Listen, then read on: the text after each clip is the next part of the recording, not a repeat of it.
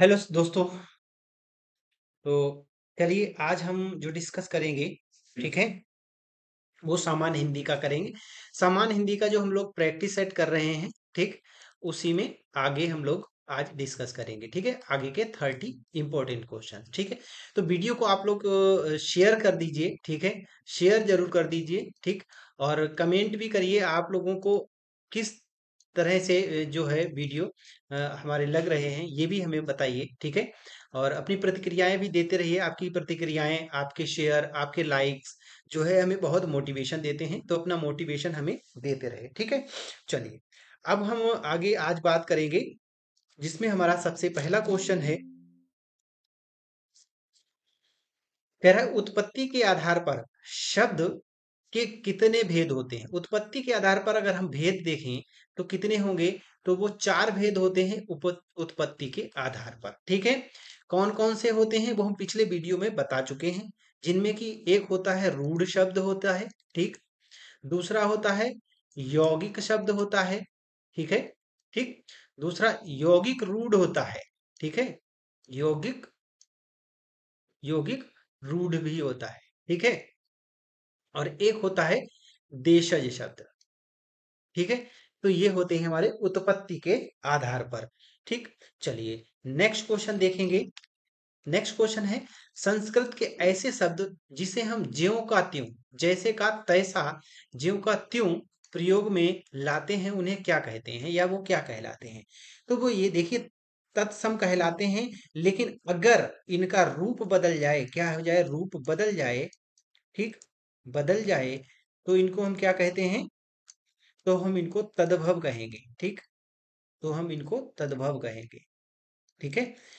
चलिए next question है हमारा, वकील किस भाषा का शब्द है? वकील किस भाषा का शब्द है? तो याद रखेंगे, वकील जो है, अरबी भाषा का शब्द है। नेक्स्ट क्वेश्चन है, भाषा के लिखित रूप में बात बताते हैं। भाषा का जो लिखित रूप में हम लिखकर बात बतानी लिखित रूप में कैसे बात बता सकते हैं, भाषा को ठीक है तो लिखकर बता सकते हैं, ठीक है?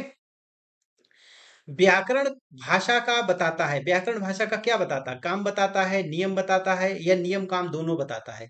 भाषा का काम नहीं बताता है, भाषा का नियम बताता है व्याकरण, ठीक है?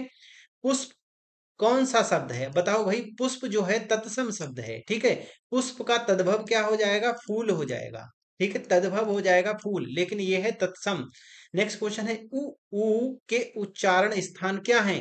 अब हम जब उ उ बोलते हैं, छोटा उ बोलते हैं तो हमारे होठ जो है, देखिए किस टाइप से बाइंड होते हैं, ठीक है? लेकिन जीव तो नहीं हिलती, इसका मतलब ये ओठों से हैं इनका उच्चारण स्थान है, इसलिए ओष्ठ भी कहलाते हैं, याद रखेंगे। इनको ओष्ठ भी कहते हैं, ठीक है? इनको हम ओष्ठ भी कहते हैं। नेक्स्ट क्वेश्चन है, ए ए, ओ ओ, कौन सा स्वर है? ये कौन से स्वर हैं? ये संयुक्त स्वर हैं और संयुक्त स्वर हमारे होते हैं चार। ए ए, ओ ओ, ठीक है? इनको याद रखना है हमें। हमारे लिए ये इंपॉर्टेंट क्वेश्चन है और ये वर्णमाला से भी रिलेटेड है, ठीक है? ये प्रैक्टिस सेट है, ये हमारे जितने भी कंपटीशन है, सभी के लिए इंपॉर्टेंट है तो एक लाइक तो बनता है इन चीज़ों के लिए, ठीक है? चलिए नेक्स्ट क्वेश्चन है, मात्राएँ कितने प्रकार की होती हैं? तो मात्राएँ तीन प्रकार की होती हैं। एक होती है एक मात्रिक ठीक? एक मात्रिक ठीक? एक होती है द्विमात्रिक, ठीक है? जिनको हम एक मात्रिक द्विमात्रिक, ठीक है? और एक त्रिक मात्रिक होती है या दो से ज़्यादा वाली होती है, ठीक है? चलिए नेक्स्ट है हिंदी में व्यंजन वर्णों की संख्या कितनी मतलब व्यंजनों की संख्या कितनी है?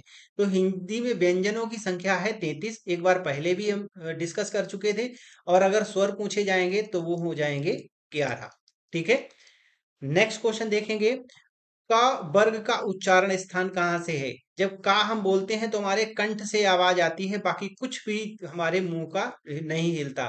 क, ख, ग, घ। ठीक है? तो का वर्ग जो होता है, उसमें क्या होते हैं?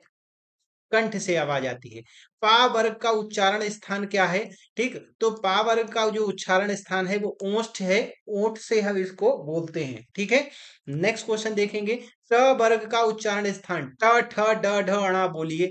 तो मूर्धा मूर्धा क्या आता है? जो तालु के ऊपर होता है, उसको हम मूर्धा बोलते हैं। ठीक, तालु के के ऊपर का भाग जो होता है, उसको मूर्धा बोलते हैं। वहाँ से इनको उच्चारित करते हैं। ठीक है? नेक्स्ट क्वेश्चन देखेंगे। चा वर्ग का उच्चारण स्थान। चा, छा, ज, झ बोलते समय हमारी जो जीव होती है वो तालु में लगती है, इसलिए ये तालव्य है या तालु से इनका उच्चारण होता है। पा, फ, ब, भ, म का उच्चारण स्थान क्या है? ओठ है, इसलिए इनको ओष्ठ कहते हैं।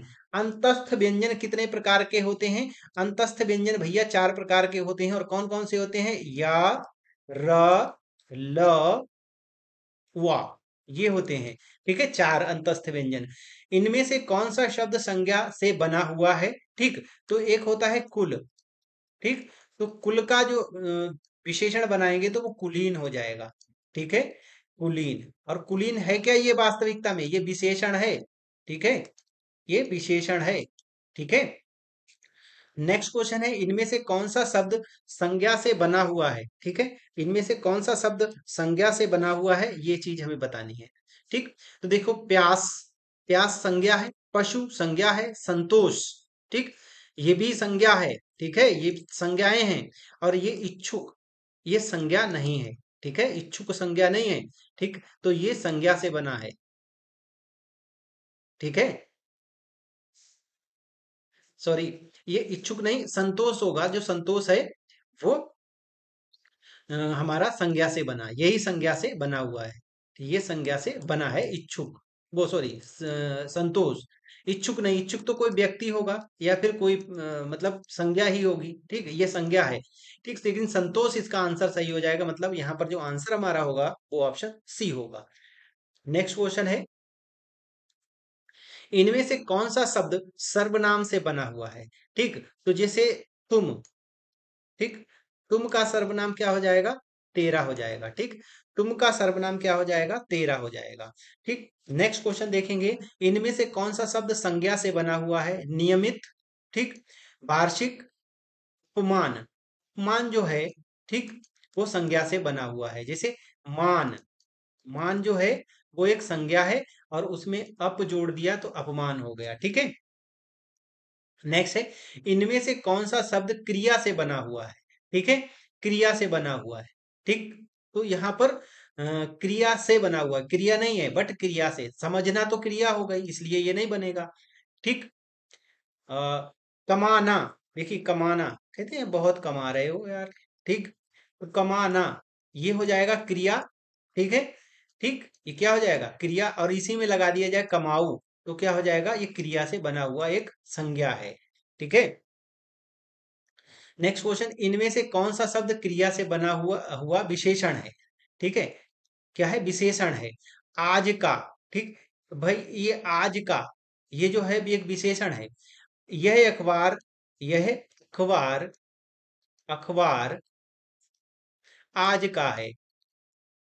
आज का है? अब बताओ, इसमें विशेषण, अखबार की विशेषता क्या है? आज का है। कौन बता रहा है? ये तो बता रहा है, इसलिए है। इनमें से कौन सा शब्द पुल्लिंग से बना हुआ स्त्रीलिंग है? पुल्लिंग से बना हुआ स्त्रीलिंग है। ठीक तो ये ऐसा, ये तो पुल्लिंग है। ऐसा पुल्लिंग है कि नहीं है? हैं? ऐसा पुल्लिंग है। बड़ा, ये भी पुल्लिंग है। काली काली जो है वो स्त्रीलिंग है और काला से बना है। ठीक है? किससे? काला से बना है। ठीक। नेक्स्ट क्वेश्चन है इन कौन सा शब्द संस्कृत से तद्भव बनाया गया? इनमें कौन सा संस्कृत से तद्भव मतलब संस्कृत तत्सम से तद्भव, ये पूछ रहा है। ठीक है? तो बच्चा जो है, वो तद्भव है। कैसा है? तद्भव है। ठीक है? तद्भव शब्द है। ठीक? इनको याद रखेंगे। नेक्स्ट क्वेश्चन है, कौन सा शब्द गुणवाचक विशेषण है? गुणवाचक विशेषण है। देखिए, पाँच लड़के, ये तो संख्यावाचक, दस हाथी, संख्यावाचक, ठीक? लाल फूल फूल की गुण, फूल का गुण क्या है? ठीक? ये क्या बता रहा है? गुण बता रहा है। और गुण बताएगा तो वही गुणवाचक विशेषण हो जाएगा। संख्यावाचक विशेषण कितने प्रकार के होते हैं? तो संख्यावाचक विशेषण होते हैं तीन प्रकार के, ठीक है? नेक्स्ट क्वेश्चन है, कौन सा शब्द परिमाण बोधक विशेषण है? इनमें से कौन सा शब्द परिमाण बोधक विशेषण है? तो शेर भर दूध, ये परिमाण है परिमाण है ये, ठीक है? हाँ एक परिमाण का मतलब होता है मात्रा। ठीक? मात्रा, परिमाण का मतलब मात्रा से होता है, ठीक है? चलिए नेक्स्ट क्वेश्चन देखेंगे।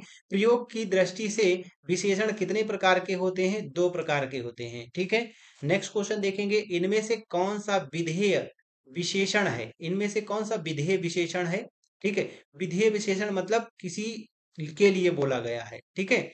मेरा लड़का आलसी है, ठीक है? मेरा लड़का आलसी है। ठीक तो विधेय कौन हो जाएगा? लड़का, ठीक? और यहाँ विशेषण कौन हो जाएगा? आलसी, ठीक? मतलब लड़के की विशेषता बता रहा है और है किसका? मेरा, यहाँ से रिलेटेड है, ठीक है? तो इसलिए इसमें हो जाएगा हमारा विधेय विशेषण। नेक्स्ट क्वेश्चन है, इनमें से कौन सा शब्द मूलावस्था में है? मतलब अपने मूलावस्था का मतलब बताया था? एक मूलावस्था होता है, एक उत्तरावस्था होता है और एक होता है उत्तमावस्था, ठीक है? एक चीज़ हमने बताया था एक दिन। उत्तरावस्था ठीक है? एक मतलब होती है पॉजिटिव डिग्री, एक कंपेरेटिव डिग्री और एक सुपरलेटिव डिग्री। तो इसमें ये पॉजिटिव डिग्री है, ठीक है? हाँ और उत्तमा अवस्था होती है सुपरलेटिव डिग्री, ठीक है? इसको उत्तमा अवस्था बोलते हैं, ठीक है? उत्तमा अवस्था बोलते हैं, ठीक है? तो इसमें पूछा मूलावस्था, जिससे सुंदर सुंदर होगा फिर सुंदर बेहद ज़्यादा सुंदर हो जाएगा, ठीक? या अधिक सुंदर हो जाएगा, और सबसे सुंदर ठीक? सुंदरतम, वो उत्तम अवस्था हो जाएगी। तो यहाँ पर ये मूलावस्था में है। ठीक? लघुतम तो ये है उत्तमावस्था। प्रियतर, ये हो जाएगा उत्तरावस्था सेकेंड जिसको हम बोलते हैं कंपेरेटिव ठीक है? तो दोस्तों, ये रहे आज के हमारे थर्टी मोस्ट इंपॉर्टेंट क्वेश्चंस जो कि हिंदी से रिलेटेड थे। ठीक है? वीडियो को आप लोग लाइक ज़रूर कर दें, क्योंकि इससे हमें बहुत ज़्यादा मोटिवेशन मिलता है। और चैनल को अगर सब्सक्राइब नहीं किया तो सब्सक्राइब वीडियो को भी सब, हमारे चैनल को भी कर लें।